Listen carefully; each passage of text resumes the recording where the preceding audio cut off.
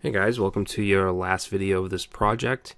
In the last video, we went ahead and made it so that we can delete recipes, so we can now add and delete them.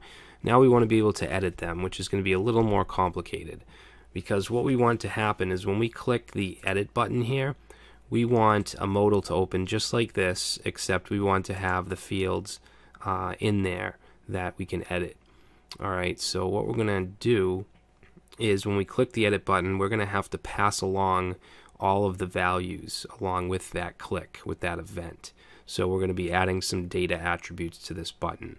So let's do that. We're going to go to views and then index.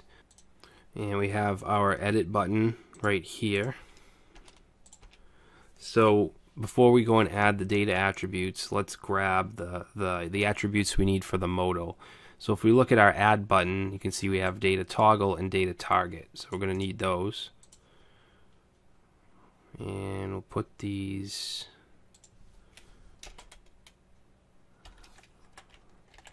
I'm going to put each each attribute on its own lines to make it a little more readable. So data toggle modal, that's good, but the target we need to change. We're going to call this one edit form modal.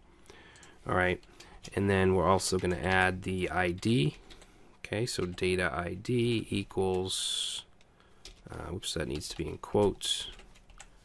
ID alright we're also going to need the name.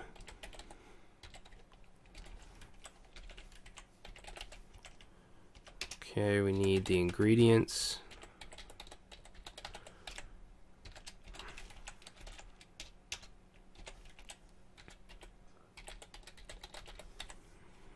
Okay, the directions.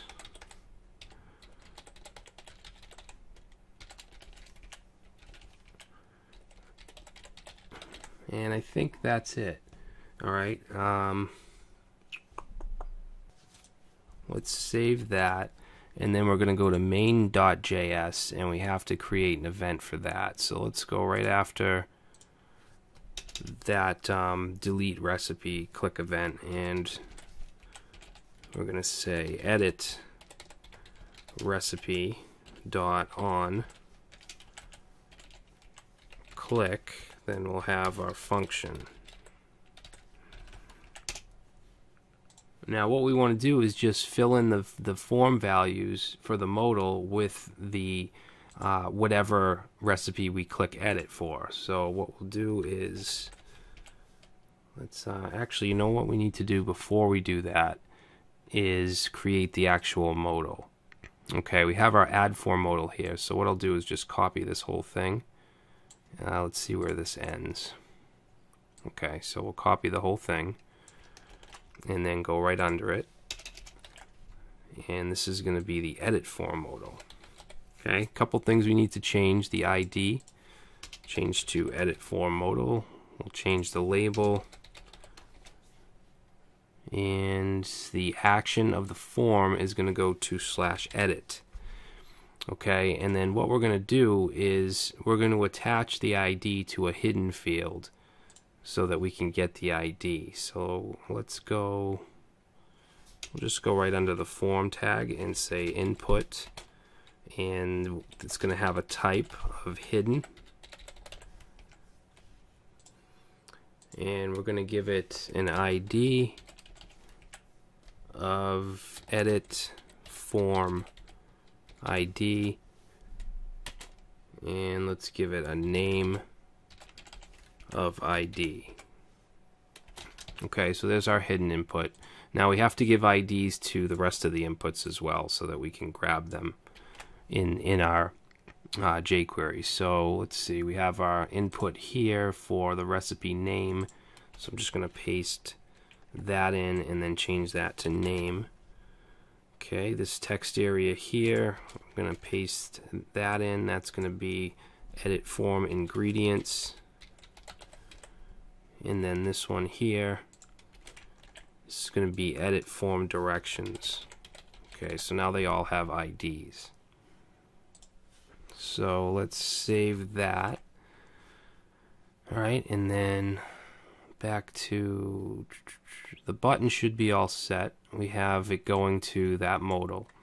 Alright, so now let's go back to main.js. And here, let's say ID, edit form name. Okay, we're going to grab that input and then insert the value of the name that's attached to the data attribute. So for that, we'll say this dot data name. Okay, so that's going to get the name and put it in the form. We're going to do the same thing for ingredients.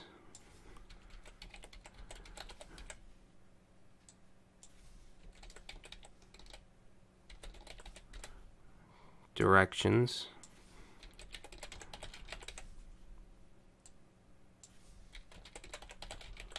and ID.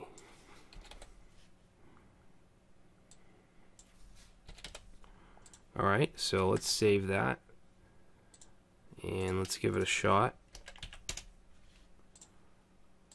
Okay, so if we go and click the edit button for this, okay, so it's not getting the, the values aren't being inserted. So let's take a look.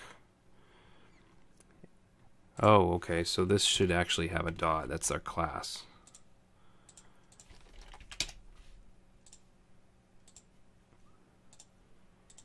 There we go. So now when we click edit, it opens the form and it inserts all the data. Check this one. Okay. So now that we have the stuff in the form, we want to handle the submission. So let's go to app.js. Okay, and this is going to be app um, post. Okay, this is going to be slash edit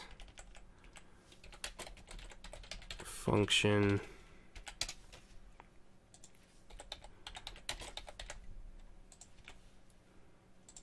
And we're going to, again, just copy this. Put that in there and instead of a delete this is going to be an update. So what we'll do is say update recipes uh, and then we want to say set name equals dollar sign one ingredients equal dollar sign two. Directions equals dollar sign 3 and then we just want to say where ID is equal to dollar sign 4 alright? Now we have to go inside our brackets and put in all of those um, placeholders. So the first one is going to be req dot body dot name okay then we'll do ingredients Oops. Okay, then we want req dot body dot directions and req dot body dot ID. All right, and then let's see, we're going to keep the done, and then we're going to say res redirect to slash, and that should do it. So let's save that, and let's give it a shot.